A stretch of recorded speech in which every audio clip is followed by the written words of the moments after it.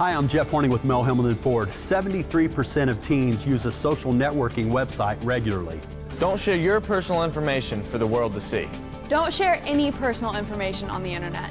And never meet up with a stranger online. You never know who you're actually meeting. Be smart online. Once you post your information online, it's there for the world to see forever. Visit facebook.com backslash www.campaign and netsmartz.org for more information about being safe online. And always wonder who's watching you.